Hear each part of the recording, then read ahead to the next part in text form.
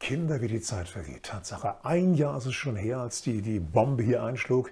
Und es hieß Corona, nicht nur in China, im, im fernen Osten, sondern auch bei uns in Bayern. Die erste Firma mit dem ersten Infizierten. Corona ist bei uns angekommen. Und seitdem beherrscht dieses Thema wirklich 24 Stunden die Medien, Radio, Fernsehen, Presse, unentwegt Corona, Corona, Corona. Mit so einer Dramatik, dass, äh, ja, dass das einfach auf viele von uns übergeschwappt ist.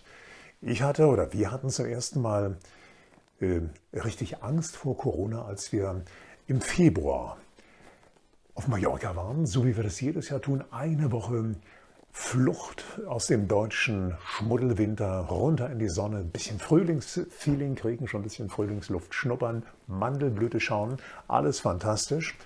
Und äh, beim Rückflug sitzen wir in dieser Maschine bis auf den letzten Platz, alles belegt. Und neben uns, ausgerechnet, ein schwerst erkälteter Engländer. Der hustete, der prustete, nieste äh, vor sich hin von Palma bis Leipzig durchgehend. Und er hatte ein einziges Zellstofftaschentuch dabei. Das war schon vor dem Start völlig durchgesuppt, nass und ekelhaft. Ich habe dann, weil wir eben auch nicht, nicht wegkamen, also da kannst du dich zur Seite beugen, wie du willst, äh, die Stewardess gebeten, äh, einen Stapel Servietten, habe die dann kommentarlos dem Engländer rübergereicht, damit er seinen Auswurf irgendwo los wurde. Und wir hatten nach der Landung wirklich nach fünf, sechs Tagen Angst, dass der Corona hat, äh, denn da hätte es uns Tatsache erwischt. Also es war nicht Corona, es war einfach nur eine schwere Erkältung, Gott sei Dank. Und dann kam Mitte März und dann gab es die Vollbremsung, runterschalten vom fünften Gang auf den ersten. Lockdown Nummer eins. Meine Frau musste ihr Studio für Kontur-Make-up hier in Leipzig sofort schließen, wegen körpernaher Behandlung, klar. Bei mir wurden alle Veranstaltungen, alles was da war, Moderationen, Vorträge, Speaker-Einsätze, Workshops, alles gestrichen. Vorerst mal nur fürs Frühjahr. Zeitnah folgten der Sommer, folgte der Herbst und ehrlich gesagt, bis heute kam nichts zurück an Aufträgen. Und äh, wenn man dann bedenkt, dass über Nacht quasi zwei Selbstständige runtergefahren werden auf Null, dann ist das schon, schon beängstigend. Ansonsten Corona, muss ich sagen, da, da ich mit Jahrgang 54 an die Impfung noch ewig nicht denken kann, da sind erstmal ganz andere dran. Das passiert vielleicht im späten Sommer oder im Herbst, wenn es so weitergeht, wie es jetzt hier gerade läuft. Deswegen habe ich gesagt, darauf kannst du nicht warten, auf diesen äh, erlösenden Peaks. Ähm, und das mache ich schon immer. Das war schon vor Corona unser Motto. Bei uns äh, versuchen wir, die körpereigenen Abwehrkräfte des Immunsystems zu stärken. Einfach ein Bollwerk zu errichten gegen das, was von außen einfliegt, damit man nicht gleich beim ersten Viren, bei der ersten Virenbegegnung äh, sich da was fängt.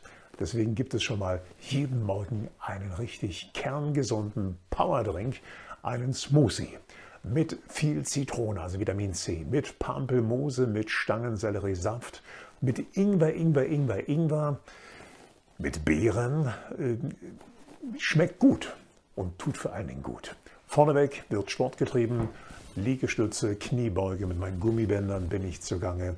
Dann geht es raus an die frische Luft, in die Sonne, in den Park, in den Wald, auf die Wiese, nicht in die Innenstadt, sondern schön in die Natur, ohne Maske, durchatmen, Sauerstoff tanken. Ansonsten früh gern noch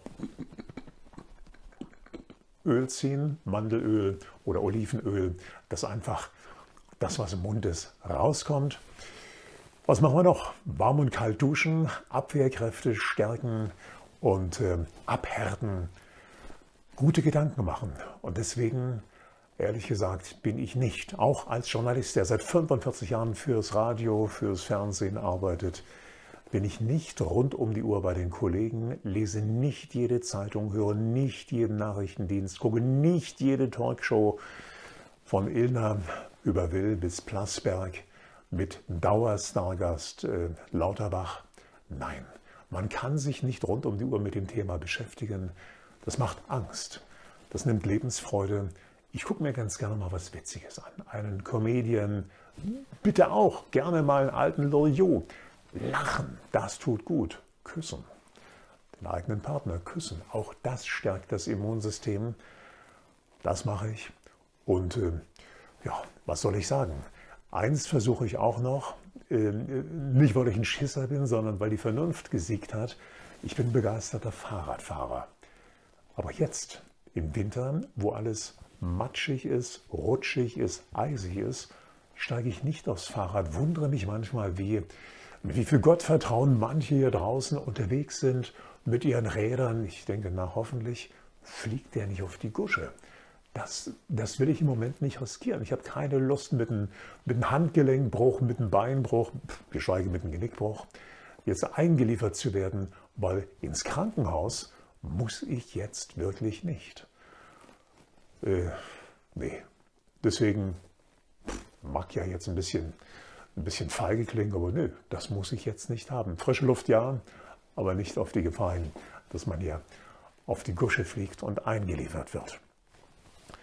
Was soll ich sagen? Die Jobs sind bis heute nicht zurückgekehrt. Deswegen habe ich gesagt, du, das kann ja nicht sein. Pff, Radio nicht, Fernsehen ein bisschen, Vorträge gar nicht mehr. Deswegen haben wir, weil es mich auch schon seit zehn Jahren interessiert, das Thema, eine Online-Plattform gegründet, verbunden mit Podcast, mit Blog. Und unser Thema heißt, wie kann ich es schaffen, ein äh, gesundes, erfülltes und langes Leben zu führen? Mensch Escher.